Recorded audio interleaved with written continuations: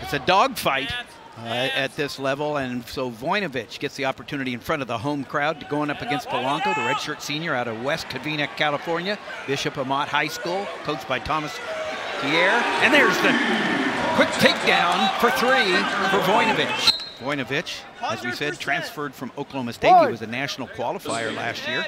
Neutral. He was a two-time state champion. Here's that takedown. Match and you know, goes collar tie, single, switches off to a double.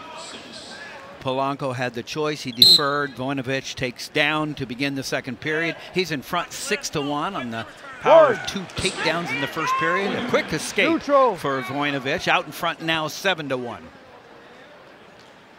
Yeah, speaking about his hand fighting ability, so you know he's so hard to score on, but then his offense, a lot of it comes off his collar ties and snap and reattack. Beautiful reattack there by Victor, and another takedown.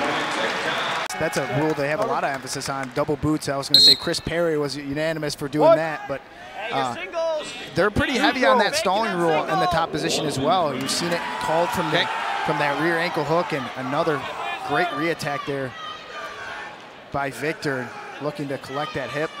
Foot down. Into the double again.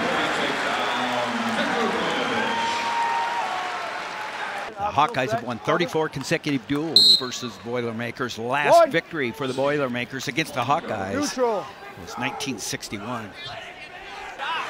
He, he's probably going to collect this again. He's just, it's just so, it's so fundamental, like you said, Tim. There's nothing special about it. It's almost back to the basics. You know, collar tie, high crotch, three or four times in this match, double boots and getting the ride out, wearing the guy out, and you know, putting 16 points on the board off of two moves is super impressive. Always a great opportunity to step on the mat. Three years in a row, the Hawkeyes have sold out Carver Hawkeye Arena with season ticket holders. There's another takedown, three more points on the board, and that's a tech fall for Victor Voinovich the third. Five points on the board for the Hawkeyes. They go up 13 to three. The big tech fall, 19 to four. Victor Voinovich the third.